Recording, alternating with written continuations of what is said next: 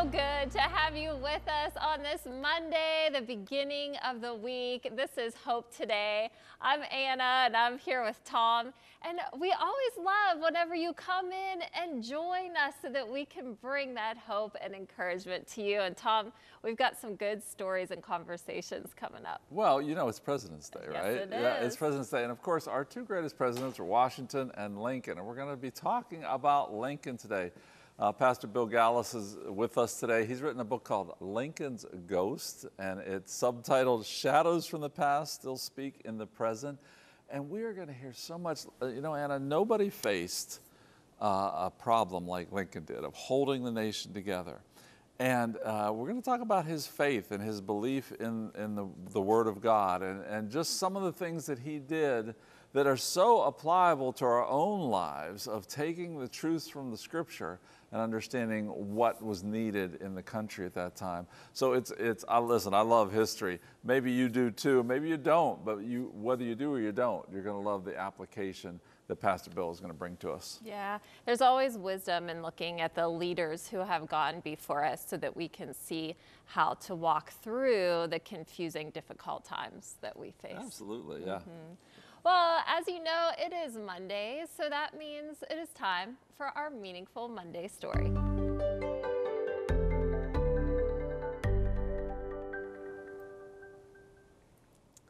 Actors Mark Wahlberg and Jonathan Roumie appeared together on Ash Wednesday to have a powerful conversation about faith, prayer, and honoring God. Mark Wahlberg is recognizable thanks to his long-standing career as an actor, but he's also well known for his faith, something he's shared openly for many years. Jonathan Roumie has also made quite a name for himself playing the role of Jesus in the popular show that maybe you have seen, The Chosen. For both Jonathan Roumie and Mark Wahlberg, their Christian faith is a cornerstone of their lives. They appeared together in a Super Bowl commercial for a new prayer app called Hallow. The app went viral after the ad aired and even ranked ahead of Netflix on the App Store charts. Mark went on to explain how he enjoys using the platform he has to drive people to a relationship with God. He said, We just want to continue to encourage people to grow closer to God. We thank Mel Johnson from GodUpdates.com for the article. I love it. I, I love, lo- first of all, I love when a, a, a Christian app goes beyond Netflix.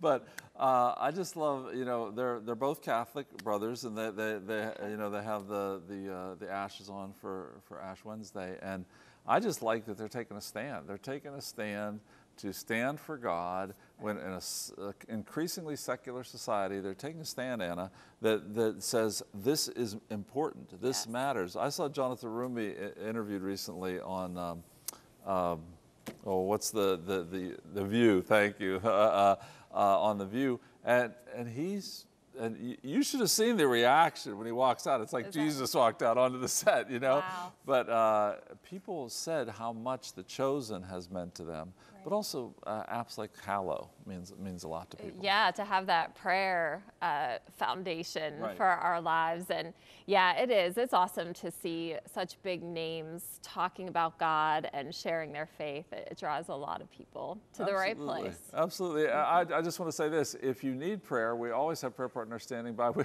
we don't have them on an app. We have them on the phone. And uh, you can uh, call uh, one of our prayer partners at the number on the screen and get somebody that will pray with you, will walk with you to the throne room of God, will encourage you through the Bible. We're going to hear a lot about the Bible lately and how, uh, and coming up shortly, and how it encouraged uh, President Lincoln to do the right thing. The Bible can encourage you today. So why don't you call a prayer partner and get some prayer today? All right. And yeah, so we also have a little bit more coming up, but we have a break and we've got a good guest We coming do. up. So stay with us. We'll be back with Pastor Bill Galus and Lincoln's Ghost.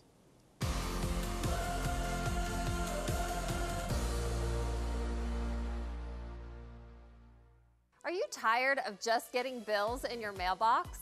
Find inspiration instead by subscribing to the Cornerstone Television's Hope Today newsletter. Each month, we'll deliver good news about what God is doing in our region and world through CTVN's ministry. We'll keep you in the know about our latest special programming And our full program guide will keep you connected to all your favorites. You'll also find a new Dashing Dish recipe every month. As you read our Hope Today newsletter, stay encouraged knowing your generosity and giving to CTVN is making a difference and building God's kingdom. We can't do it without you. Sign up today to receive your inspirational free Hope Today newsletter every month in your mailbox. Go to our website at ctvn.org/news or call us at 888-665-4483. Thank you for being a part of our Cornerstone Television family. Hope happens here. Well, we heard that many of you are responding to the spot that you just saw about our free monthly Hope Today newsletter. This month is all about love, loving God, loving people. And so if you don't get this in your mailbox every single month, all you have to do is give us a call. It's actually the same number as our prayer partners, 888 665 4483. Uh, not only does it have inspirational articles, but it will also have our full program guide, has a delicious dashing dish recipe in it every month, and it's actually something good that comes in your mailbox besides a bill. So give us a call, we'll send it your way. That is so good. The newsletter has such great stuff in it. Well, today, as we mentioned before, is President's Day, and one of our most well-known presidents, most well-beloved presidents, was our 16th president of the United States, Abraham Lincoln. We know that he was a strong leader, that he had had to be because the Civil War was happening. I'm sure it's the most challenging time for him, for our country, one of the most challenging times any country has ever seen. Well, joining us now to talk about Lincoln and how his faith played a crucial role in his life is pastor and author Bill Galus. His new book is called Lincoln's Ghost Shadows from the Past Still Speak in the Present. Bill, welcome to Hope Today. Great to be here. Thank you. Well, let me ask you, why why write a book about Lincoln? I mean, why uh, you know uh, it, it, it, reads so much, almost like a devotional, but uh, you know with such historical context. Why go that direction? Well, that was actually birthed out of COVID. Uh, you know how that affected the world there in uh, 2020, and a lot of shutdowns, and a lot of churches went remote, and our church went remote, and so more time at home uh, and to focus on other things. And I began to read more. And uh, as I said earlier, I'm, I'm a World War II buff, but I find uh, myself focusing on, on the Civil War. And Ken Burns' series it was powerful. I went through that whole series and began to read other books on Lincoln. And uh, I just became fascinated with that subject and his challenges during that war and how much it relates to what we're going through as a nation. And so uh, it turned into a blog, and that blog turned into a book. Yeah. Well, I think it's it's a great subject. I know I love that Ken Ken Burns series, and you know uh, uh I've been called a history buff. I don't exactly know what a buff is, but I'm sure you've been called a history right. buff as well. But let me let me ask you about Lincoln. Let's do let's get the elephant in the room here. Was Lincoln a Christian, or where do you see where do you come down on that? Where do you see his faith? Uh, I, I, think he was a nominal Christian.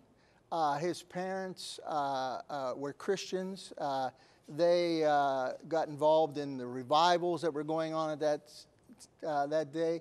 Lincoln sort of was not really involved in any church, no denomination, but he had a respect for the Word of God. He believed in God.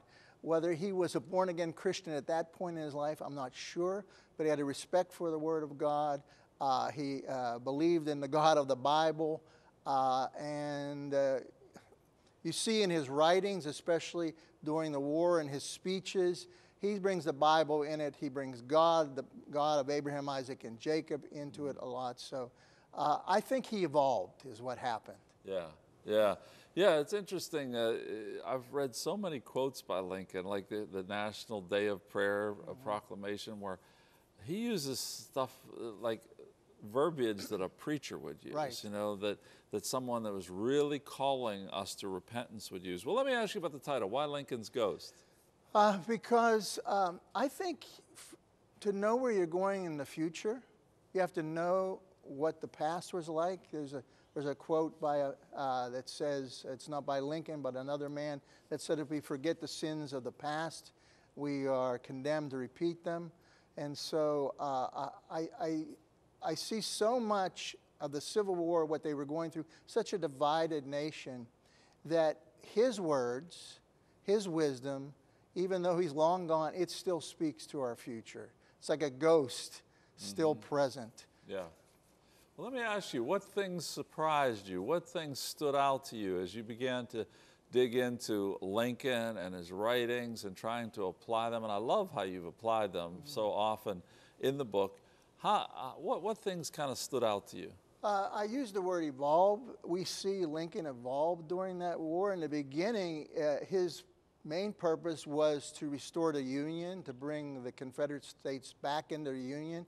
Uh, he was sort of pragmatic. He was a politician for sure, but you start to see him evolve. Uh, it became less about uh, restoring the Union and more about the slavery issue.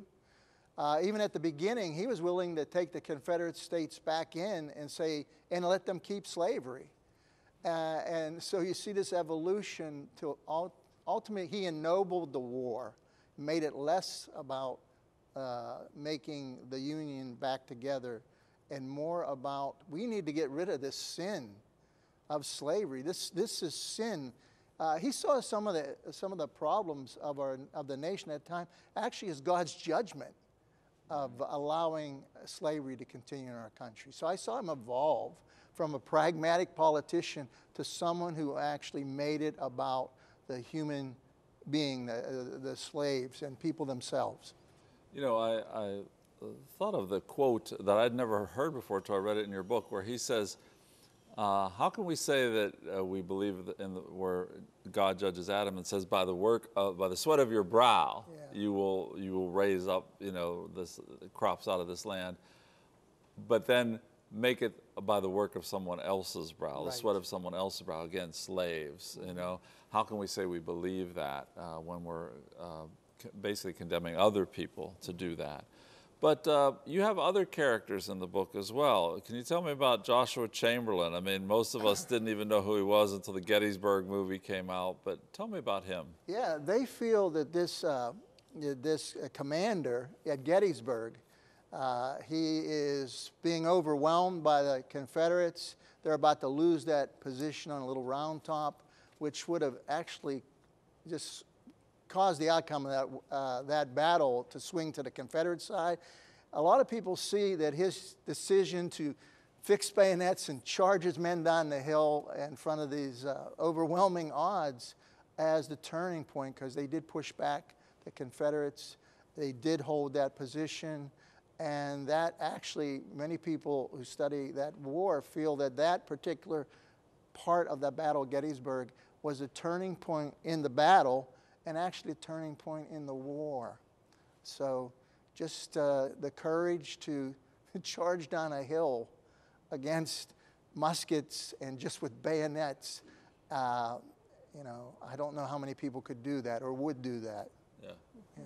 So, Pastor Bill, you had mentioned you did a lot of this reading and research during COVID, which was such a time of fear. There was the division over the different uh, political conversations that came up, a, a lot of confusion.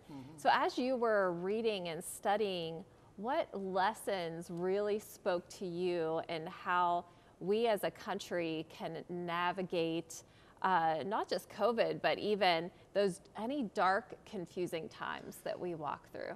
Well, uh, as I said, I started as I read that during COVID. I, you know, the, the Civil War was a divisive time in our nation. I mean, we had 10, 11, 13 states, you know, on the, either in uh, on the side of the Confederacy or kind of, uh, you know, on the on the fence on that, a divided nation. And uh, Lincoln had to uh, weather that. And if I can read a quote, can I do that? Sure, I, I think it answers There's the so question. many great quotes in this book. I found myself dog earing and underlining uh, at so many points because there's so many that, that seem to uh, stand out. But go this ahead, is, yeah. This is at the beginning of the war. This is March 4th, 1861. And this is Lincoln basically saying what we need to overcome this difficulty. He says we need intelligence. I say that's common sense, right? We need intelligence, patriotism. Boy, do we need that in our country now. He said we need intelligence, patriotism, Christianity. Funny he brings that in. Intelligence, patriotism, Christianity, and a firm reliance on Him who has never yet forsaken this favored land and is still competent to adjust in the best way all our present difficulties. So he was saying, you know, we, we need to be patriots, we need to use common sense, but it's God ultimately going to get us through this. And that was then, that's now too. You know, one of the things that um, strikes me about Lincoln is that he, uh, uh, after the war, a lot of Northerners really wanted to punish the South in many ways. And uh, in one of your chapters, that mercy triumphs over, over judgment, you know. Can you just speak to that? What was his thoughts about how the, the South, uh, again, defending a, slavery is not a, a, thing that you can justify, but about how to bring uh, them back. Yeah, he, uh, you know, the Republican Party at that time and many of the, uh, the Northerners, they were angry. I mean, there was almost 700,000 men lost in that war, killed, yeah, yeah. and how many wounded? Uh, probably a million or more. And so they wanted to really punish the South and say, let's take all their land and let's arrest all the leaders and, you know, let's uh, have all these court martials and hangings and just make them pay for everything. And uh, he said, no, uh, that is not what's going to heal this land. Forgiveness is going to heal this land. Mercy is going to heal this land. Patience is going to live. And I think whether, whatever we're going through in life, when there's an obstacle or there's a hurt, it is forgiveness. It is mercy. It is patience that ends up ultimately heal rather than that hard fist of, I want to get my way. I want to, uh, I want to punish that person who's hurt me. Uh, and uh, the Lord says in His Word, He said, it's kindness that leads us to repentance. Yeah. And He had kindness. God had kindness where He could judge us, He could have punished us, but He showed mercy toward us. Yeah. yeah. Well, I, I, I, love that, and, and I, I love the I mean, I, I again, I, I, highly recommend this book, Lincoln's Ghost, uh, because of how important it is in understanding the present day. Because don't we need that now? Amen. Don't we need that? Mm-hmm. Uh, we, we fall we fall so easily. We don't call ourselves North and South anymore, but we fall so easily and into division, you right. know. And and uh, I think that God wants us to be kind of that uh, salve, that balm of Gilead, if I could use another biblical expression, to heal those wounds. Right. Yeah. You have another book that you've written. That's, I, I, I wanted to bring it out because we didn't necessarily yeah, plan on yeah. talking. But uh, what's, what's the other book? Well, uh, this one is going to be out the end of this month. It's called Where Fireflies Never Die. It's about uh, our, you know, beautiful memories of the past. And uh, uh, so what it is, it's writing of growing up in Pittsburgh uh, in my, from kindergarten years to sixth grade and all the wacky, funny things did here in Pittsburgh. So it's all, if you were a baby boomer, if you were a Pittsburgher, if you uh, grew up in an urban setting, you're going to love this book. If you liked Leave It to Beaver or Dennis the Menace or The Wonder Years, uh, this is that book uh, you enjoy. The only difference between this is this is actually, these things I did. This is, this is non, um, th- this is nonfiction. This is my life. And I said, me, go ahead. Let me ask you about that because I, I, I, know a little bit of your story. I mean, you've been a pastor for many years. You're my parents' pastor, mm. my sister's pastor. Uh, tell me about your story. Where'd you come to faith? Well, uh, I, I went to church, a Presbyterian church, until I was about 13 years old. I went to church because I was forced to go to church. But when I was 13, I said to my parents, I, I don't want to go anymore. And, and so I stopped going to church. And got in trouble, got in problem with drugs, and ended up, this was during Vietnam, I ended up uh, running away from home, going, uh, joining the Navy, getting involved with the Vietnam War, but I was not saved, still struggling with drugs and alcohol, uh, and uh, when I got out in 1975, came back to Pittsburgh, basically to say goodbye to my family folks here and live in California. And I came home and I met a good friend of mine who had been a drug addict. And he, uh, he said, Bill, can I talk to you? He said, I'm not on drugs anymore. He said, I found Jesus. And I was like, How do you find Jesus? I didn't know Jesus was lost, you know.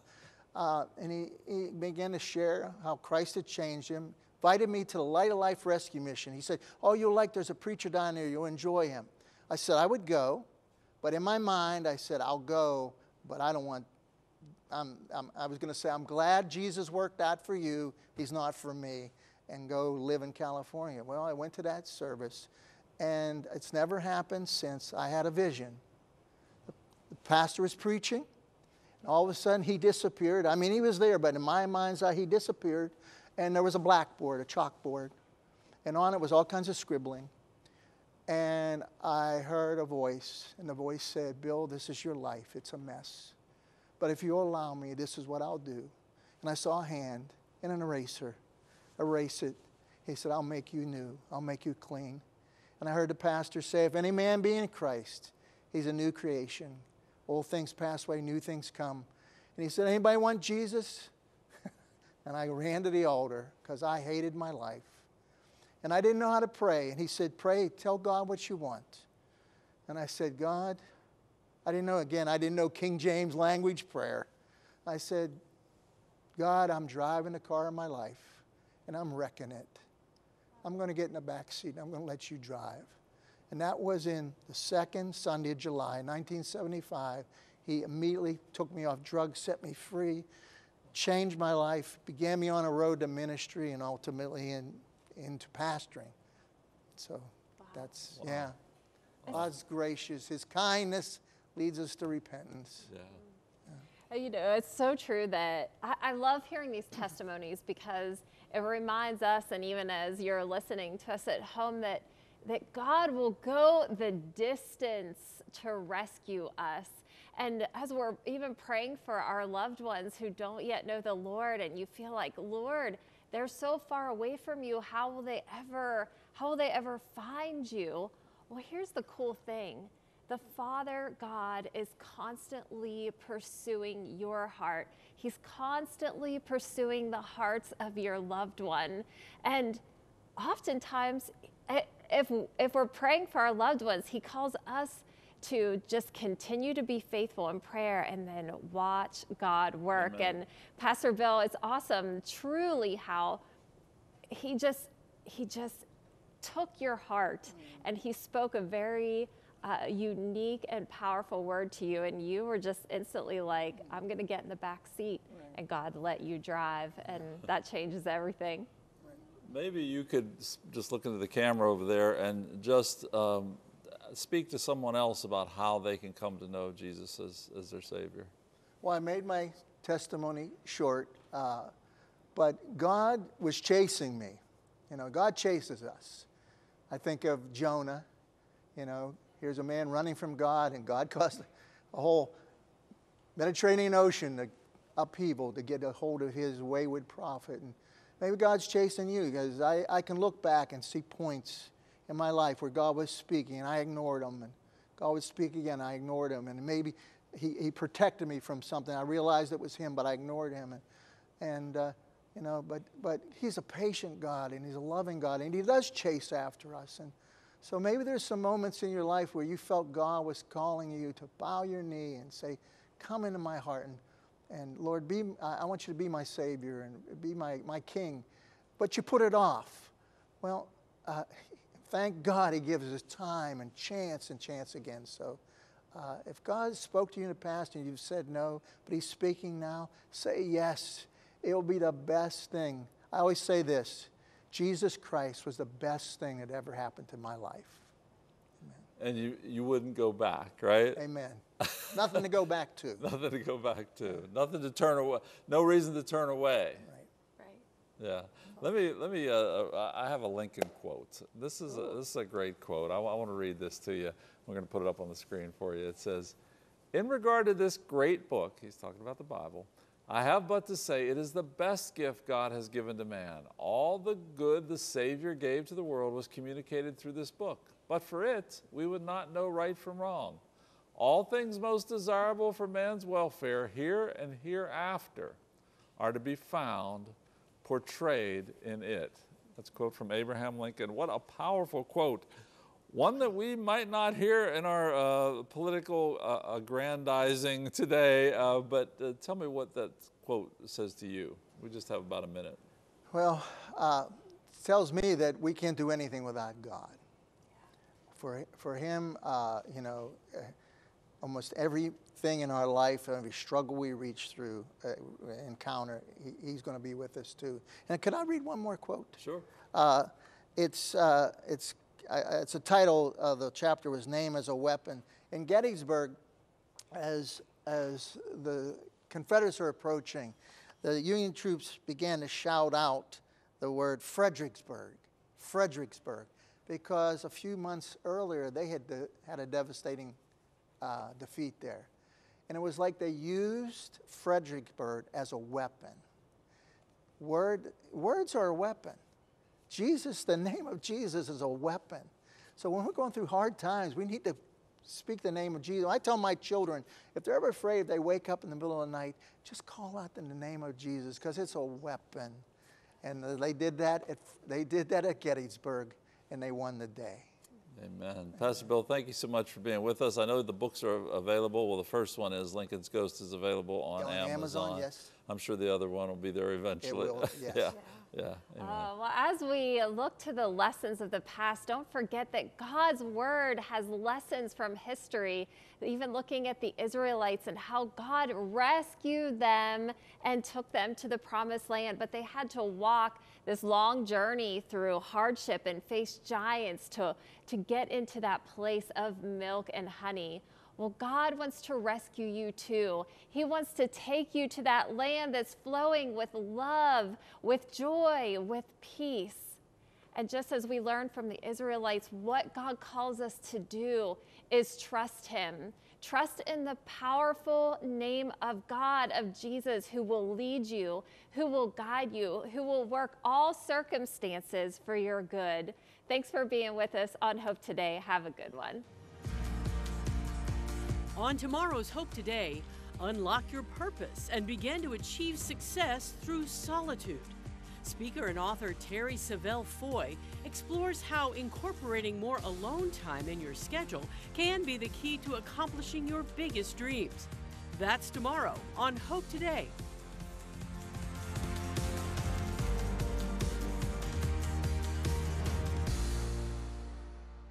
Cornerstone Television wishes to thank all our faithful viewers whose consistent prayers and financial support have made this program possible.